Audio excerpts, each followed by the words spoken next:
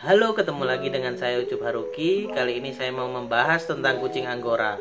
Yang di mana kita tahu kebanyakan orang pada umumnya ketika melihat kucing yang bulunya sedikit agak panjang maka disebutlah kucing tersebut adalah kucing Anggora. Namun sebenarnya itu adalah hal yang salah besar. Oke, sekarang langsung aja kita bahas. Kucing Anggora adalah salah satu ras kucing domestik alami tertua dan ras ini berasal dari Ankara, Turki, guys yaitu Angkara itu sendiri adalah nama gunung sebenarnya. Kucing ini hanya bisa dikembangbiakan di Turki karena peraturan dari negara tersebut. Di Indonesia sendiri, kucing Anggora yang ras asli itu hanya beberapa ekor saja. Secara sederhana, ras kucing ini dikenal juga sebagai kucing Anggora atau kucing Angkara. Bagaimana sejarah kucing Anggora tersebut? Anggora itu sendiri adalah ras kucing alami yang sangat tua dan salah satu ras yang tertua di dunia. Berabad-abad lamanya kucing Anggora mengalami seleksi alam di daerah pegunungan Angkara. Iklim yang sedemikian rupa membuat tubuhnya kuat dan bulunya berkembang menjadi panjang. Anggora adalah ras kucing yang tidak diketahui dari mana asal bentuknya. Namun beberapa teori mengatakan anggora berasal dari seekor kucing liar yaitu e, kucing palas yaitu kucing berasal dari Asia. Akan tetapi teori ini masih diragukan karena kucing palas ini memiliki sifat yang bertolak belakang dengan kucing anggora. Keturunan kucing liar Afrika dipercaya dibawa ke Turki oleh pedagang Mesir pada zaman peradaban Mesir kuno. Dari kucing-kucing tersebutlah Anggora berkembang biak melalui seleksi alam perkawinan sedarah di daerah pegunungan yang tertutup. Kemungkinan Anggora telah ada di Eropa sejak zaman Perang Salib. Pada saat itu tentara-tentara Perang Salib pernah membawa kucing berbulu panjang ketika kembali ke Eropa. Dan pada ke abad 15 lah kucing-kucing Anggora pernah dibawa ke Turki ke Eropa oleh beberapa wisatawan untuk dikembangbiakan di Prancis, Inggris sehingga kucing Anggora cukup populer pada abad Renaissance namanya guys. Kemudian pada abad ke-16, seorang sarjana Prancis Nicolas Claude Fabry de Pers membawa beberapa ekor Anggora bersamanya dari Ankara ke Prancis. Dia kemudian memulai mengembangbiakan kucing tersebut dan memberikan anak-anak kucingnya kepada para bangsawan untuk hadiah sebagai hadiah kehormatan, guys. Salah satunya kepada kardinal. Pada abad itu juga Anggora pertama kalinya dijual oleh orang-orang kaya di Prancis dan Inggris oleh Sultan Turki. Anggora semakin dikenal di Eropa ketika Raja Louis dan Maria Antonia memelihara seekor Anggora. Pada tahun 1620, seorang penjelajah Asia berkebangsaan Italia, Piero della Valle, mendarat di Turki kemudian kembali ke Roma dengan membawa tujuh pasang kucing Anggora. Ia kemudian memberikan kucing-kucing tersebut kepada para bangsawan Romawi, guys.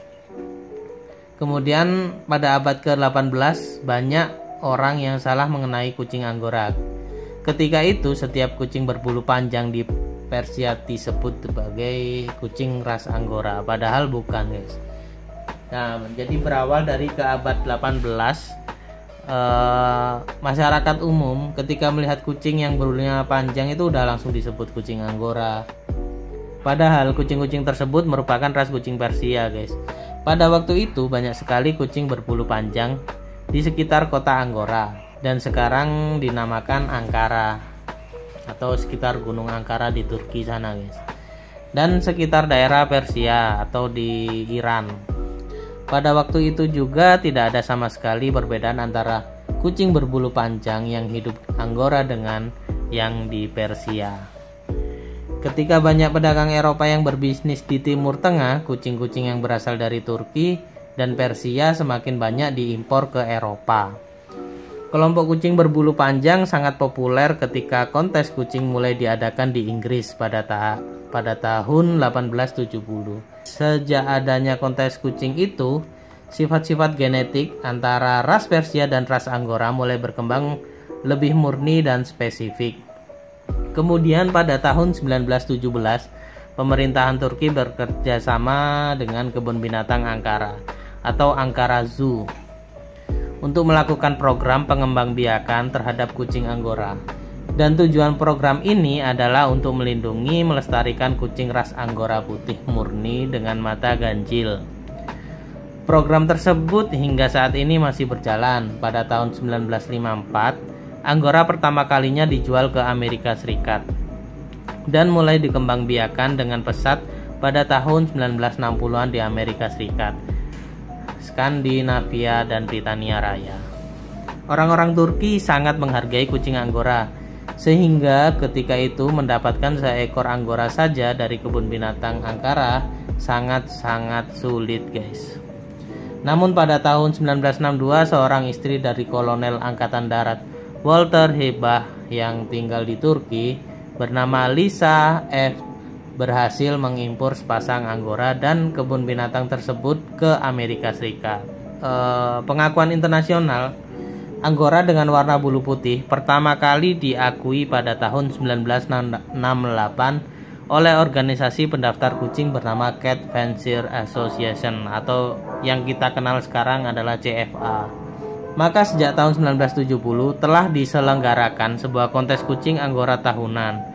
Selanjutnya pada tahun 1976 Anggora mendapatkan kelas baru di CFA atau Cat Fancier eh, Association itu tadi guys yaitu kelas kejuaraan. Namun pada tahun 1978 hanya anggora berwarna putih murni saja yang diakui, sehingga anggora yang berwarna lain itu nggak dianggap guys, karena ya mungkin uh, sudah sangat apa ya sudah disilang-silang gitu guys.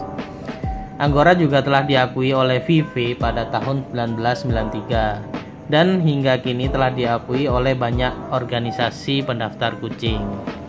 Untuk karakteristiknya, Anggora adalah kucing dengan ciri khas berbulu panjang yang indah. Anggora memiliki tubuh yang sedang dengan badan berotot yang panjang, ramping, langsing, dan elegan.